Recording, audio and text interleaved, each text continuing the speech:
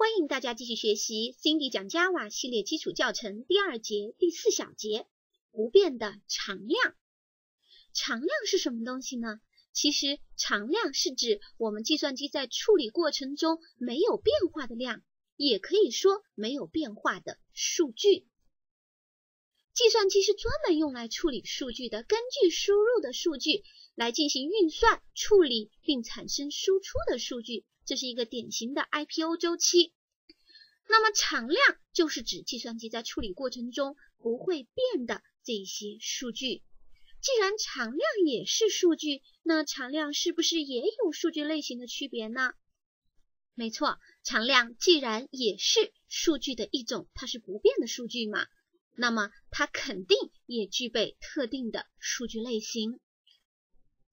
那我们来复习一下上一小节，我们到底介绍了哪几种数据类型呢？Java 的数据类型很多种，但是它的基本数据类型只有八种，分别是代表整数的 byte、short、int 和 long，代表小数的 float 和 double，代表字符的 character，以及代表布尔值的 boolean。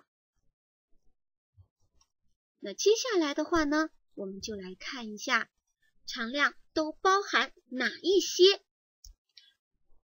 首先呢，常量肯定有整数、小数和字符，还有布尔值，它们分别对应 Java 的八种基本数据类型。我写一个一，很明显这是一个数字一。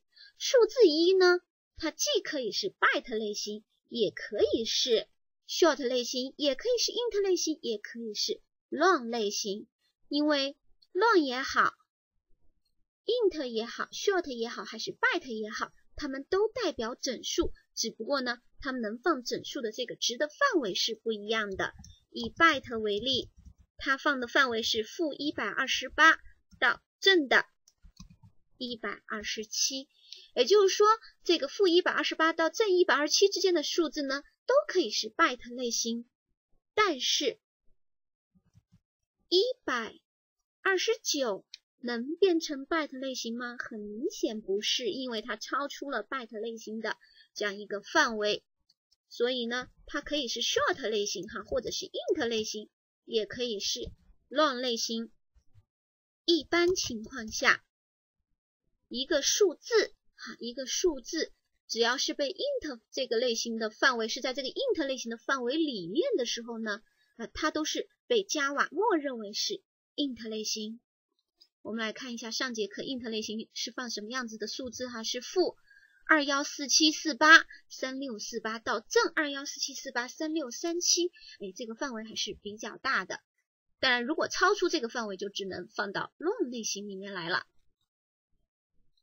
好，这个是整数，那么小数呢？小数的常量的话呢，大家都学过数学，对不对？比方说一点五，好，但是一点五这么写，其实是不会被 Java 当成 float 类型的这样一个常量的，它会被当成 double 类型。double 能放的这个小数的精度，就是它的长度范围哈，比 float 要大得多。Java 系统呢，一般默认为小数，一看到小数，它就会默认为是 double 类型。那我怎么把这个常量变成 float 类型呢？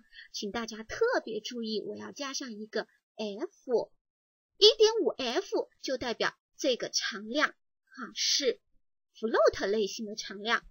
而如果我不加 f 的话，系统会自己默认为是 double 类型。当然，你人为的加上一个 d。也就意味着是 double 类型，不加系统也会默认它是 double 类型，请大家特别注意哦。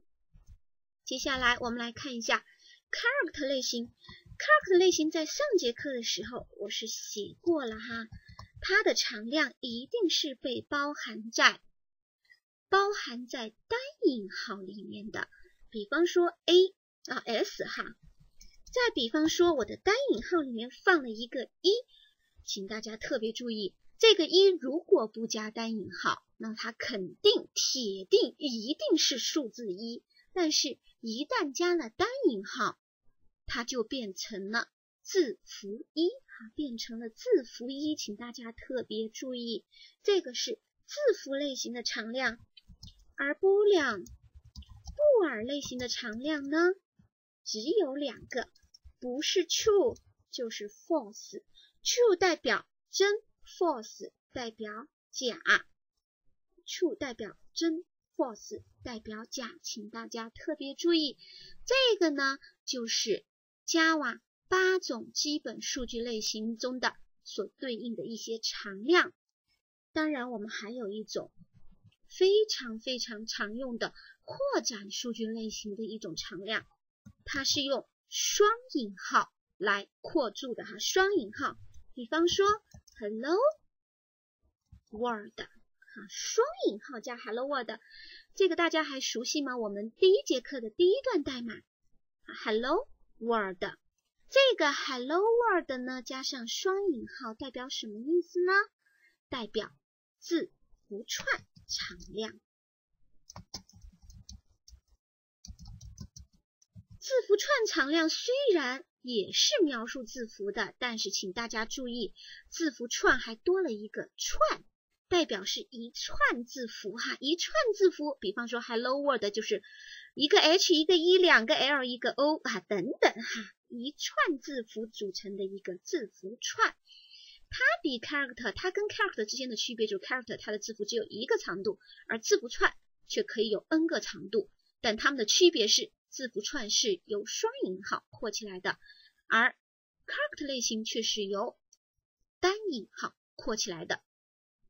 好的，到这里为止的话呢，常量我们也就。介绍到这里，大家都记住了吗？